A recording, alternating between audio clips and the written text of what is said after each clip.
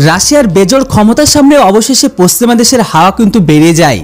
অবশেষে আমেরিকার দিগ্গজ news agency Reuters তাদের রিপোর্টে বড় একটি প্রকাশ করেছে, যে যখন থেকে রাশিয়া তাদের ইলেকট্রনিক ওয়ারফেয়ার সিস্টেমকে বাড়িয়ে দেয়, তখন থেকে ইউক্রেনকে দেওয়া পশ্চিমা দেশের অস্ত্র বেকার হয়ে যায়। আর তো এখন রাশিয়া তার ইলেকট্রনিক ওয়ারফেয়ার সিস্টেমের ক্ষমতার সম্পূর্ণকে ব্যবহারই করেনি। কিন্তু এখন রাশিয়া তার ইলেকট্রনিক ওয়ারফেয়ার ক্ষমতাকে আরও বাড়াচ্ছে। আর যার পরিণাম এখন ইউক্রেনের সমস্ত বাড়তি কমে যাচ্ছে। কেননা রাশিয়া তার ইলেকট্রনিক ওয়ারফেয়ারের ক্ষমতার দমে ইউক্রেনের সমস্ত গোলাভান্ডার আর সমস্ত দেশের কাছে থেকে পাওয়া নাইনটি পার্সেন্ট ড্রোনকে নষ্ট করে দেয় রাশিয়া।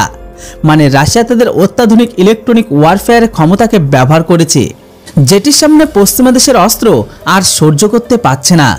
আর এমতো অবস্থায় কিন্তু বলা যেতেই পারে যে পারম্পরিক অস্ত্রের থেকে আলাদা ইলেকট্রনিক ওয়ারফেয়ার ক্ষমতা কীভাবে যুদ্ধের ময়দানকে সম্পূর্ণ গেম চেঞ্জার রূপে পাল্টে দিতে পারে।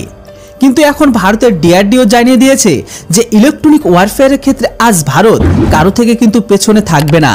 এমনকি ভারতের ইলেকট্রনিক ওয়ারফেয়ারের ক্ষমতা স্বদেশি টেকনোলজির দমে মজবুত হবে। তো সেখানে ডিআরডিও বলেছে যে দু হাজার একুশে ভারতের নৌসেনা পেয়েছে শক্তি সিস্টেমের মতো ইলেকট্রনিক ওয়ারফেয়ার তো কেবলমাত্র সেটি শুরু।